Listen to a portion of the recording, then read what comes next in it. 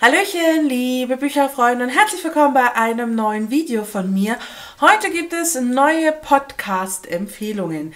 Ja, ich bin ein großer Fan von Podcasts geworden und hatte euch, ich glaube, im September schon mal fünf Podcasts vorgestellt. Eine Mischung aus Podcasts von Spotify und auch auf Audible, denn auch Audible äh, ja, bietet ja seinen Abonnenten äh, kostenlos Podcasts zur Verfügung. Aktuell stecke ich aber in einer Audible-Pause. Äh, und äh, dementsprechend bekomme ich dann die neuen äh, Podcasts sozusagen oder doch, ich glaube, die Folgen kommen weiterhin umsonst, aber ich kann keinen neuen Podcast ausprobieren und müsste dafür dann im Grunde ein Guthaben bezahlen, weswegen ich mich doch sehr auf Spotify verlagert habe, immer mal wieder etwas Neues entdecke und ich glaube jetzt auch alle vier neu genannten Podcasts äh, äh sind sozusagen auch auf Spotify. Ich glaube auch zum Teil auf iTunes, aber da höre ich persönlich eben nicht ich bin wirklich äh, auf Spotify äh, unterwegs und mag das Podcast hören unglaublich gerne, weil man hat natürlich so kurze Folgen, ich sag mal zwischen 15 und 30 Minuten, bei manchen Podcasts durchaus mal was über eine Stunde, was dann schon eher irgendwie so ein bisschen Hörbuchcharakter hat. Und ich finde so etwas wirklich für zwischendurch immer mega praktisch, egal ob es mal eine Autofahrt ist, ob es mal eine Auszeit auf dem Solarium ist, äh, was ja so 20 Minuten sind. Und äh, ja, das genieße ich eben einfach sehr, dass man eben in so einem kurzen Moment trotzdem etwas Abgeschlossenes hören kann. Und ich habe äh, jetzt vier Tipps heute mitgebracht, werde euch so das Podcast-Foto sozusagen auch ähm, mit einblenden und bin natürlich auch gespannt auf eure Tipps. Und äh, ja, wenn ihr da irgendwas habt, auch immer gerne in die Kommentare, freue ich mich immer sehr äh, darüber. Ja, es sind äh, vorwiegend tatsächlich zurzeit äh, ja, Podcasts, die so ein bisschen in die Richtung Selbstfindung gehen, Achtsamkeit, die so ein bisschen ja, der Szene schmeicheln, wie man so schön sagt, aber auch ein Podcast ist äh, mit sehr humorvollen Inhalten äh, dabei. Ja, der erste Podcast, den ich empfehlen möchte, ist Gratitude Daily von Marila Behrens. Hier bekommen wir wöchentlich äh, so ziemlich einen Podcast von ihr.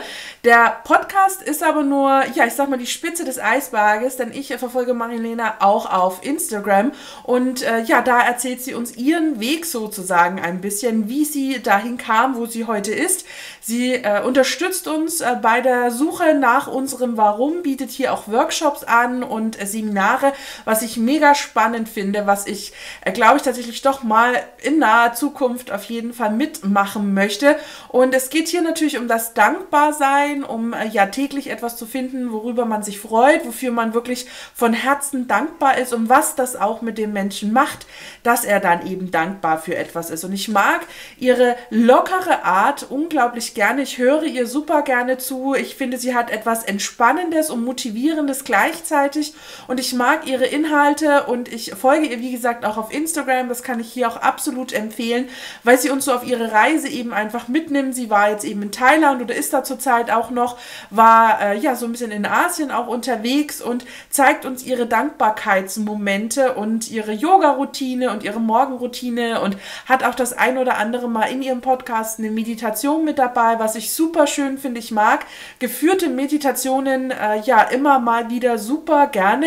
Nicht immer, manchmal möchte ich bei meiner Meditation auch einfach allein sein, aber ich finde so ein neuer Impuls, äh, der bringt einen immer so ein kleines Stückchen weiter und das mag ich eben bei ihrem Podcast auch unglaublich gerne. Ich äh, höre ihr wirklich super gerne zu. Ich glaube, sie hat jetzt schon über 100 Folgen und ich habe ja so im letzten Vierteljahr wahrscheinlich äh, wirklich sehr viel aufgeholt abgeholt, habe wirklich auch von vorne angefangen, habe so ihren Weg mitverfolgt. Ich mag auch ihre Interviews, die sie macht, auch dann äh, ja die Interviewpartner, wo ich dann durchaus eben auch jemanden finde, dem ich weiterverfolge, wo ich auf einen Buchtipp stoße, auf einen Podcast-Tipp, auf ein YouTube-Video. Ich glaube, Marilena ist auch auf YouTube.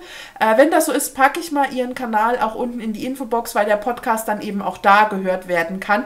Äh, solltet ihr kein Spotify haben, könnt ihr hier auf jeden Fall mal reinhören und ich packe das auf jeden Fall in die Infobox. Schaut da auf jeden Fall gern mal vorbei. Der zweite Podcast ist von Katharina Thürer und nennt sich Kokona und äh, Kokona ist für selbstbestimmte Schöpferfrauen Und äh, darunter konnte ich mir anfangs überhaupt nichts äh, vorstellen, habe aber dann doch schnell gemerkt, dass mich viele ihrer Themen sehr, sehr interessieren. Also auch hier haben wir das Thema Achtsamkeit, äh, das Warum suchen, warum ist man auf der Welt, was möchte man geben, für was brennt man, wie kann man das äh, brennen, sozusagen vielleicht aus diese Leidenschaft aus dem Hobby irgendwie dazu verwenden, dass man eben sein Leben mit Sinn erfüllt, insofern man auf dieser Suche ist. Man muss natürlich das immer ein bisschen differenzieren. Manche Menschen sind ja eben auch einfach ohne ihren tieferen Sinn, sage ich mal, glücklich oder ohne den äh, ständig in den Vordergrund zu heben, einfach glücklich. Das muss man natürlich einfach für sich selbst ähm,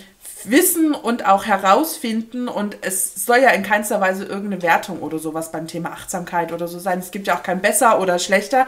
Aber mir gefällt äh, bei Katharina auch einfach ihre so, so echte Art. Man hat das Gefühl, sie ist einfach so. Es ist, wirkt sehr authentisch. Auch sie nimmt uns auf den Weg mit, äh, stellt uns auch unterschiedliche Dinge ähm, immer mal wieder vor. Auch verschiedenste Frauen, die eben ja ihre Leidenschaft irgendwie ja dazu nutzen, das eben auch mit anderen zu teilen. Vorwiegend in diesem Fall dann eben auch Frauen. Und das finde ich einfach auch einen mega spannenden Weg, ähm, welchen Weg Frauen nehmen können äh, und was da ja so ein bisschen dahinter steht und dahinter steckt und wie man eben als Frau, in diesem Fall ist das eben tatsächlich eher ein Podcast für Frauen, eben auch so seinen Weg finden kann und diesen dann auch gehen kann. Und ähm, ja, eben auch zum Beispiel hat sie sich um den Mondzyklus so ein bisschen beschäftigt, da auch Interviews geführt, was ich mega spannend fand. Einiges war einem so irgendwie im Unterbewusstsein schon bekannt, anderes hat sie wieder aufgefrischt zu dem Thema, fand ich mega spannend. Auch hier, glaube ich, erscheint wöchentlich eine Folge. Auch hier habe ich von vorne angefangen, mir die spannenden Themen herausgesucht. Es ist natürlich schon schon so, dass es durchaus eben auch Folgen gibt, die einen nicht ansprechen. Das finde ich persönlich aber auch gar nicht schlimm.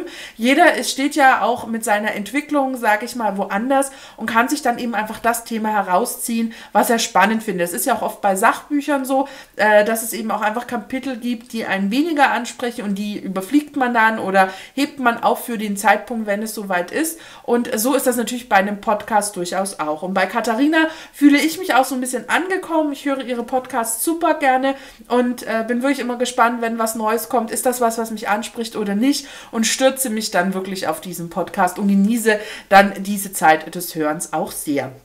So auch bei Andrea Morgenstern. Äh, ihr Podcast heißt Soul to Go. Andrea Morgenstern verfolge ich schon Jahre auf YouTube. Auch ihren YouTube-Kanal packe ich mal in die Infobox. Wobei ich glaube, da ist es ja etwas ruhiger geworden. Und Andrea Morgenstern, hier kann ich mich sehr bewusst daran erinnern, dass sie immer sehr mit Migräne zu kämpfen hatte und eigentlich immer so ein bisschen auch ihren Weg erzählt hat, wie sie damit umgeht, wie sie es auch irgendwie besser macht, wie man es heilen kann. Und äh, ich mochte ihre YouTube-Videos ähm, immer super gerne, weil sie hat sich sehr auch äh, ja, um tierversuchsfreie Kosmetik bemüht, um Nachhaltigkeit, um äh, ja auch Naturkosmetik. Äh, es ging dann eben auch einfach so ein bisschen weiter um Yoga, um Achtsamkeit, um Buchtipps, was die mit einem machen können. Und äh, das mochte ich an Andrea schon immer super gerne. Und irgendwie durch Zufall habe ich relativ spät eigentlich jetzt erst gemerkt, oh, sie hat ja tatsächlich auch einen Podcast und bin dann da im Grunde auch hängen geblieben, weil Andrea auch eine sehr motivierende äh, Frau ist, die uns ihren Weg einfach sehr offen präsentiert, sehr authentisch zeigt. Natürlich schon das ein oder andere Mal auch was dabei ist, was man durchaus vielleicht aus den Videos schon irgendwie kennt. Aber ich finde, gute Dinge können gar nicht oft genug wiederholt werden. Und äh, guckt euch einfach mal ihre Videos an und wenn die euch irgendwie ansprechen, die Titel der Videos oder auch der Inhalt, dann äh, guckt euch mal den Podcast an. Auch hier, glaube ich, haben wir wöchentlich eine Folge, habe ich mir zumindest mal so aufgeschrieben. Und äh, in ihren Videos äh, geht es halt auch immer wieder um Leichtigkeit, um Lebensfreude und wie man die eben steigern kann und eben auch diese Lebensfreude so beibehalten kann und die überhaupt auch finden kann. Und das finde ich was, was wirklich wichtig ist auf dieser Welt, denn ich finde, wir haben alle viel zu wenig Leichtigkeit in unserem Leben und äh, gerade in Deutschland habe ich dieses Gefühl sehr, sehr häufig und auch die Lebensfreude kommt zu kurz. Also auch ich habe sehr oft das Gefühl, dass wenn man ein äh, sehr ruhiger Mensch ist, ein ausgeglichener Mensch und sich an kleinen Dingen freut, dass man da manchmal schon gefühlt auch belächelt wird. Und das ist was, was mich ähm, innerlich schon so ein bisschen zweifeln lässt an der Menschheit, wo natürlich kann nicht jeder mein Inneres verstehen, das ist auch gar keine Frage, aber ich bin sehr beruhigt, dass es eben anderen Menschen auch so geht und dass die ähnlich äh, denken wie ich und ich mir nicht mehr ganz so alleine gefühlt vorkomme, wie es vielleicht noch vor äh, zwei Jahren der Fall war, wo ich dachte, was passt nicht mit mir, äh, warum habe ich diese Gedanken? Und äh, gerade diese drei Podcasts, zum Beispiel auch ein paar andere und auch Sachbücher helfen helfen einem natürlich zu sagen, okay, es ist doch irgendwie ganz normal und äh, es ist nichts Unnormales in mir, dass ich zweifle, dass ich etwas suche, dass ich auf irgendeinem Weg bin. Und äh, das finde ich einfach mega, mega spannend. Und ich glaube auch, dass das durchaus auch ein Thema einfach ist, das man auf einem YouTube-Kanal, auf einem Booktube-Kanal besprechen kann, weil es dazu natürlich auch genügend äh, Literatur gibt. Und ähm, wie kam ich denn jetzt hier in dieses Gedankenkarussell rein oder in dieses Sprechkarussell? Ja, Andrea Morgensterns Podcast. Wenn wenn ihr also hier auf der Suche seid, äh, wirklich nach Leichtigkeit, nach Lebensfreude, äh, wie man das eben auch so in den Alltag integrieren kann, dann äh, guckt auf jeden Fall bei Soul2Go vorbei, denn Andrea, finde ich, macht das auch wirklich super. Und es gibt auch schon einiges, was man sich da anhören kann. Und nach diesen ganzen Selbstfindungsthemen, Achtsamkeit und äh, wie werde ich glücklich im Leben, haben wir im Grunde zwei Männer, die sich beste Freundinnen nennen. Und äh, die diese Lebensfreude im Grunde auch absolut ausstrahlen ausstrahlen und äh, mich sehr oft äh, zum Lachen bringen. Denn es sind äh, Max und Jakob und ja, diese beiden Jungs sprechen über alles. Von Frauen, über Singles sein, über One-Night-Stands, über ganz andere Dinge und sie nehmen absolut kein Blatt vor den Mund. Das muss man mögen, ähm, dass das manchmal schon auch sehr direkt ist und ich sage jetzt auch mal sehr derb ist. Das kann vielleicht nicht jeder ab, aber ich mag es sehr oft sehr gerne. Ich muss natürlich da auch ein bisschen in Stimmung sein, um diesen Humor dann auch lustig zu finden. Also für morgens um, um 6 Uhr ist das noch nichts.